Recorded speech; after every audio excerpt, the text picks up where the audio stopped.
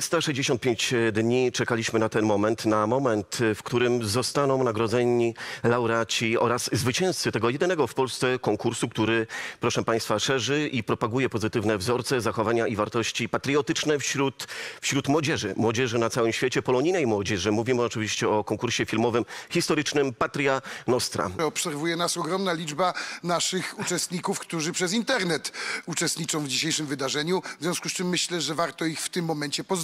Pozdrawiamy wszystkich, Oczywiście którzy są z nami za pomocą internetowych łączy. Na Oczywiście, że tak. różnych kontynentach i w różnych regionach y, świata. W naszym konkursie nagrody dostają wszyscy jego uczestnicy. Nagród mamy bardzo dużo. Te nagrody oczywiście za chwilę pokażemy. Są to dla zwycięzców konkursu nagrody finansowe ufundowane przez e, Ministerstwo Kultury i Dziedzictwa Narodowego oraz Narodowe Centrum Kultury. Tutaj za nami z tyłu te nagrody możemy zobaczyć w postaci talonów. E, Trzy zwycięskie drużyny otrzymują replikę szabli polskiej, e, która została ufundowana przez naszych patronów honorowych. Natomiast e, wszystkie drużyny otrzymują olbrzymią liczbę książek, albumów i innych atrakcyjnych przedmiotów, które zostały ufundowane przez ponad 60 instytucji. Te nagrody są do zobaczenia na naszych stronach internetowych, a także będzie można je zobaczyć za chwilę później w trakcie uroczystości. A teraz, proszę Państwa, y, oddajemy głos oczywiście dalej naszym partnerom, którzy zadadzą w tym przypadku pytania naszym laureatom. A jakie to będą pytania i jakie to będą grupy i laureaci, przekonamy się już za chwilę, Panie Mirku. Mam takie proste pytania. E, Po pierwsze, jak często się spotykacie? Dlatego, że słychać, że mówicie praktycznie bez akcentu e, jako, jako taka grupa. A drugie pytanie, jak w Brazylii jest odbierana Polska E, i jak ten obraz nasz, e, polski i nas, Polaków, możemy zmienić, by był jeszcze lepszy? Halo Brazylia, halo Brazylia. Słychać mnie, tak?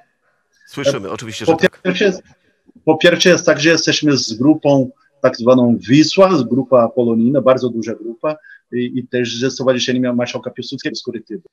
A Wisła jest największa grupa poza Polską, na pewno. Grupa liczy pier, około 200 e, członków i tancerzy mamy, mamy około 120. A, no i spotkamy się co tydzień, oczywiście w czasie pandemii nie bardzo, nie?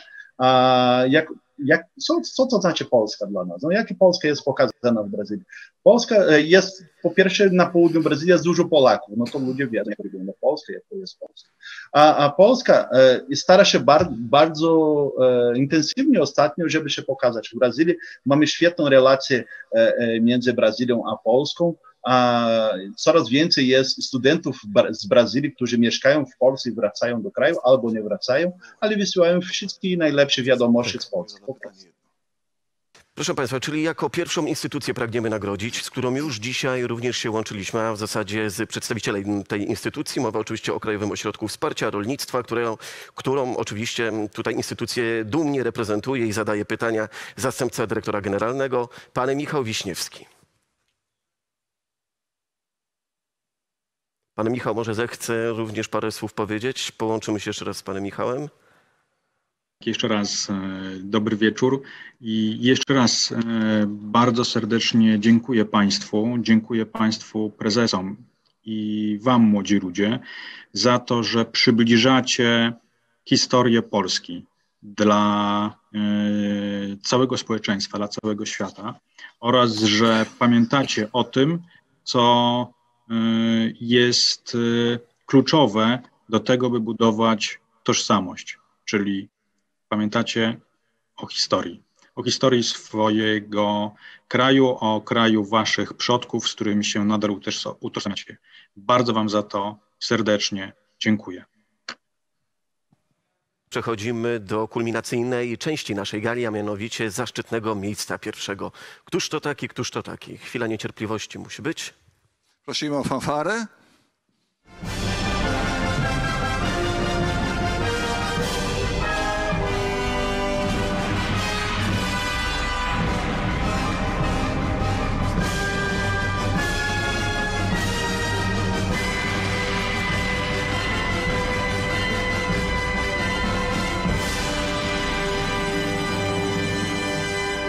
A więc, proszę Państwa, miejsce pierwsze w tegorocznym można powiedzieć nawet światowym, globalnym konkursie historycznym Patria Nostra.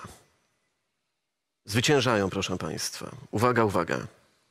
Miejsce pierwsze zaznaczam. Karagandyjskie Obwodowe Stowarzyszenie Polaków Polonia, Kazachstan. Wielkie brawa. Serdecznie gratulujemy.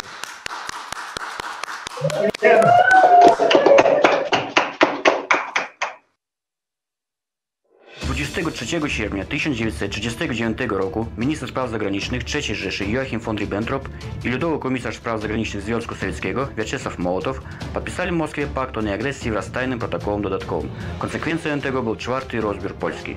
Pakt Ribbentrop-Mołotow był podstawowym dokumentem współdziałania III Rzeszy i ZSRR po wybuchu wojny. Na jego mocy Hitler i Stalin dokonali podziału znacznej części Europy. Niemiecki atak na Polskę rozpoczął II wojnę światową, a dwa tygodnie później wojska radzieckie wkroczyły na terytorium Polski. risky.